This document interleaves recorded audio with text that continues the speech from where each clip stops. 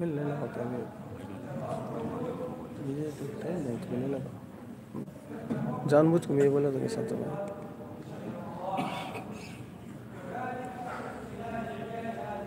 آسمان کی طرف دیکھتے ہیں۔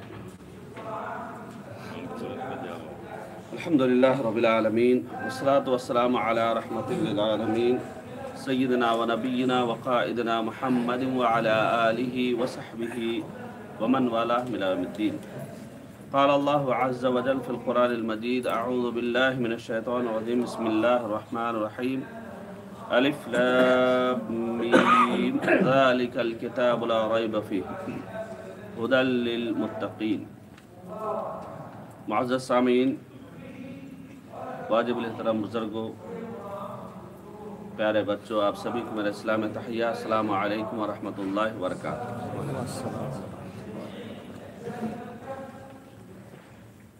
آج کا ہمارا موضوع تمام علوم کا مرکز قرآن۔ قرآن اشرف الکتب ہے۔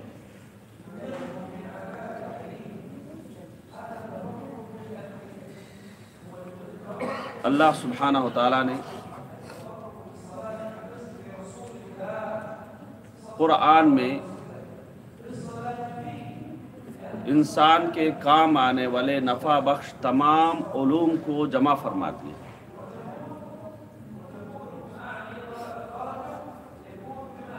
قرآن میں ہر علم موجود ہے، لیکن انسانی جو فہم ہے، اس کی رسائی ان علوم تک نہیں ہو پاتی۔ چنانچہ ہمارے اسلاف نے تین سو سے زائد علوم کو قرآن سے ثابت کیا اور اس بات کا اقرار کیا ہے کہ قرآن میں موجود علوم کی کوئی حد نہیں ہو سکتی۔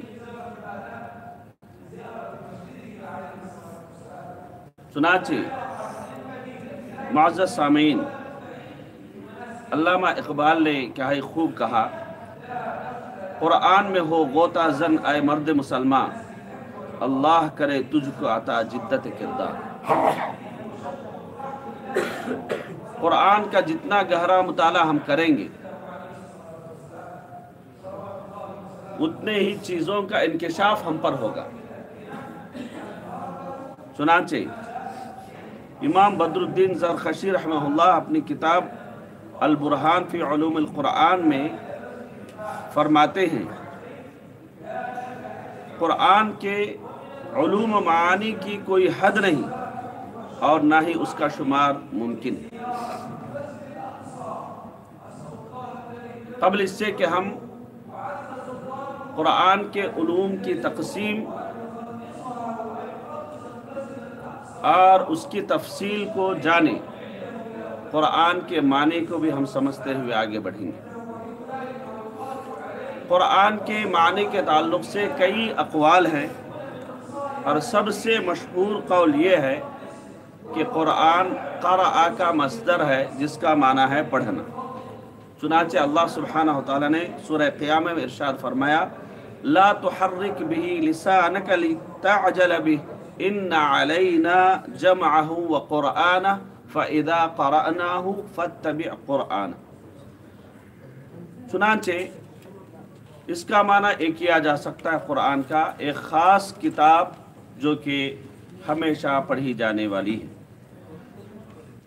اصطلاحی ترجمہ معنی یہ ہے کہ قرآن اللہ کا وہ کلام ہے جو اپنی ذات میں معجزہ بھی ہے جسے حضرت جبریل علیہ السلام کے ذریعے میرے اور آپ کے آقا محمد صلی اللہ علیہ وسلم پر نازل کیا گیا، جو صحیفے میں لکھا ہوا ہے، جس کی تلاوت کرنا ثابت ہے اور جو متواتر طریقے سے نقل ہوتا چلا آ رہا ہے۔ قرآن کے مختلف نام ہیں، جس میں ذاتی نام بھی ہیں، صفاتی نام بھی ہیں۔ چنانچہ ذاتی نام اگر آپ لیتے ہیں، الکتاب، الفرقان، الذکر، التنزیل، المجید، الحکیم، یہ ذاتی نام ہے اور صفاتی نام، اس کے علاوہ اگر آپ لیتے ہیں، تقریباً پچپن جو ہے صفاتی نام ملتے ہیں۔ پچپن صفاتی نام قرآن کے ملتے ہیں۔ معزز سامعین، قرآن میں جیسا کہ میں نے کہا کہ تمام علوم کا، نفع بخش علوم کا ذکر قرآن میں ہے۔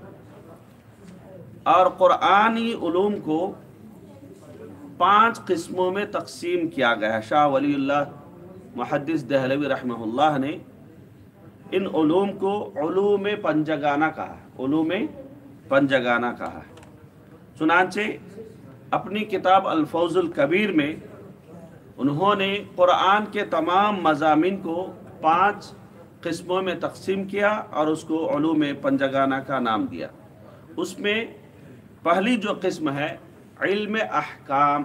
پہلی قسم کیا ہے؟ علم احکام۔ قرآن کے عوامر نواحی کا علم۔ یعنی قرآن کچھ چیزوں کے کرنے کا حکم دیتا ہے اور کچھ چیزوں سے ہمیں روکتا ہے۔ مثال کے طور پر قرآن ہمیں حکم دیتا ہے کہ توحید میں ہم ایمان رکھیں، قرآن ہمیں حکم دیتا ہے، نماز پڑھیں، قرآن ہمیں حکم دیتا ہے، زکوٰۃ ادا کریں، قرآن ہمیں حکم دیتا ہے، والدین کی خدمت کریں، قرآن ہمیں حکم دیتا ہے، رشتہ داروں کے ساتھ ہم صلاح رحمی کر رہے ہیں۔ یعنی یہ سارے کے سارے کرنے والے کام کیا ہیں؟ عوامر ہیں۔ نواحی کیا ہے؟ قرآن ہمیں منع کرتا ہے، شرک سے منع کرتا ہے، چوری سے منع کرتا ہے، زنا سے منع کرتا ہے اور کسی کے تعلق سے غلط گمان کرنے سے منع کرتا ہے، جاسوسی سے منع کرتا ہے اور غیبت سے منع کرتا ہے۔ یہ وہ سارے امور ہیں جس سے قرآن ہمیں روکتا ہے۔ اس کو کیا کہیں گے؟ اس کو علم احکام کہتے ہیں۔ کیا کہتے ہیں جی؟ علم احکام۔ اس کو یاد رکھیں۔ دوسری جو قسم ہے، علم تذکیر بھی اعلیٰ اللہ۔ علم تذکیر وہ علم ہے جس کے ذریعے اللہ سبحانہ و تعالی اپنی بے شمار نعمتوں کا ذکر فرما کے منعم حقیقی کا تصور دیتا ہے کہ یہ ساری جو نعمتیں تمہیں دستیاب ہیں، یہ کس کی اور سے ہیں؟ یہ حقیقت ہے کہ ہمارے والدین ہیں، لیکن والدین کو بھی ہمیں عطا کرنے والی ذات کون ہے؟ اللہ سبحانہ و تعالیٰ کی ذات ہے۔ یقیناً اعضا ہمارے ہیں، لیکن ان اعضا کو ہمیں دینے والی ذات کون سی ہے؟ اللہ سبحانہ و تعالیٰ کے۔ یقیناً ہم دیکھتے ہیں، یقیناً ہم سنتے ہیں، یقیناً ہم بولتے ہیں، یقیناً ہم چلتے ہیں، کرتے ہیں سب کچھ۔ لیکن یہ ساری طاقتیں ہمیں عنایت فرمانے والی ذات کون ہے؟ وہی اللہ سبحانہ۔ یعنی اپنی نعمتوں کا تذکرہ فرما کر منعیم حقیقی کا تصور اللہ سبحانہ تعالیٰ دیتے ہیں اور ساتھ میں کہتے ہیں لَإِن شَكَرْتُمْ لَأَزِيدَنَّكُمْ اگر تم نے شکر کا رویہ اختیار کیا تو یہ نعمتیں اور بھی بڑھیں گی۔ ولا ان کفرتم ان عذابی لشدید اگر تم نے انکار کیا اور ناکفری کے کفری ناکفری کی تو اللہ سبحانہ و تعالیٰ فرماتے ہیں، میرا عذاب بہت ہی شدید ہے۔ چنانچہ آپ جگہ جگہ دیکھیں گے فبی ای آلائی ربکما تکذبان علم نجعل لکم عینین ولسانا وشفتین وہدیناہن النجدین یا ایوہ الانسان اس قسم کے کئی جو ہے ایسے خطابات آپ کو نظر آئیں گے جہاں اللہ سبحانہ و تعالیٰ اپنی نعمتوں کا تصور ہمیں دلاتے ہیں۔ اور اسی طریقے سے معزز سامعین تیسری جو قسم ہے وہ ہے علم مخاسمات علم مخاسمات یعنی اس کو ڈبیٹ جو کہتے ہیں، ہم دوسرے سے کس طرح مناقشہ کر سکتے ہیں، کس طرح ہم جدال کر سکتے ہیں، یہ علم جو ہے اس میں پایا جاتا ہے۔ چنانچہ آپ قرآن کا مطالعہ کریں گے تو فی الحال پوری دنیا میں جتنے بھی گمراہ فرقے ہیں، گمراہ مذاہب ہیں، خاص کر مذہب کے نام سے جتنے بھی گمراہ ہیں، ان سارے اہم مذاہب کا ذکر قرآن میں ہے۔ ان سارے اہم مذاہب کا ذکر قرآن میں ہے۔ مثال کے طور پر مشرقین ہیں، منافقین ہیں، یہود ہیں، نصارہ ہیں اور اس کے ساتھ غیر مذہبی جو گمراہی ہے ان الہاد جس کو کہتے ہیں، الہاد کا ذکر بھی قرآن میں ہے اور ان سارے عقائد پر قرآن سخت تنقید کرتا ہے۔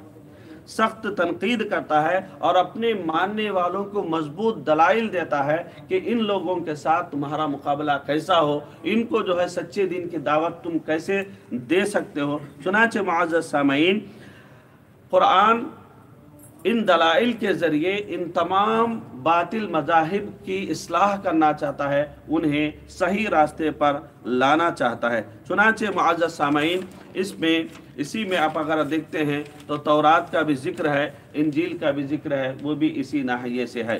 اور اس کے بعد چوتھی جو قسم ہے وہ ہے تذکیر اللہ کے بھی ایام اللہ، تذکیر بھی ایام اللہ علم ہے تذکیر بھی ایام اللہ۔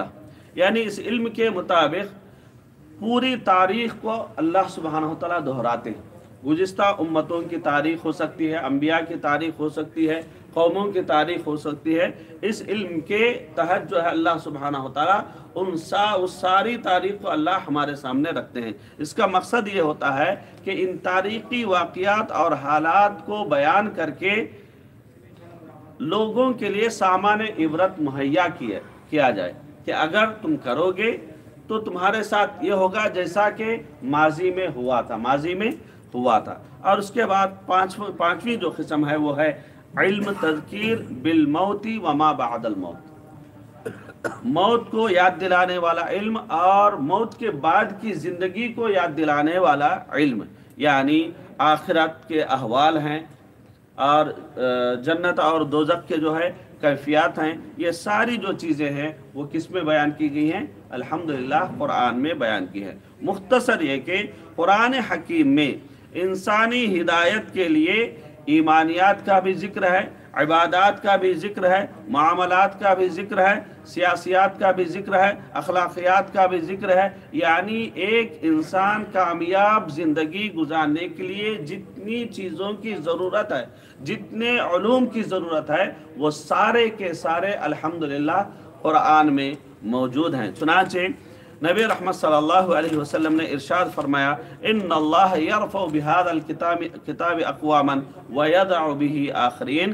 اللہ اس کتاب یعنی قرآن کے ذریعے کچھ لوگوں کو بلندی عطا فرمائے گا اور کچھ لوگوں کو اس کے سبب پستی کا شکار کرے گا۔ چنانچہ معزز سامعین، ہمیں قرآن کو کیسے اپنانا ہے اور ہم کیسے اپنائیں گے اسی پر ہمارا مستقبل جو ہے ڈیپینڈ ہے، چنانچہ ہمیں چاہیے کہ قرآن کے جو حقوق ہیں، ان حقوق کو جانتے ہوئے قرآن کے علوم کے تعلق سے ہم معرفت حاصل کرنے کے ساتھ ساتھ ان ساری چیزوں کو ہماری عملی زندگی میں لانے کی اگر ہم کوشش کریں گے تو انشاءاللہ اللہ سبحانہ تعالیٰ کی اور سے ہماری سرخروئی ہوگی اور اللہ سبحانہ تعالیٰ ہمیں عزت بخشیں گے۔ اللہ سبحانہ تعالیٰ کی ذات سے دعا ہے کہ اللہ سبحانہ تعالیٰ قرآن کو جیسا سمجھنا ہے ویسے سمجھنے کی توفیق ہم سب کو عطا فرمائے۔ آمین۔ وزاکم اللہ خیرن والسلام علیکم ورحمۃ اللہ وبرکاتہ۔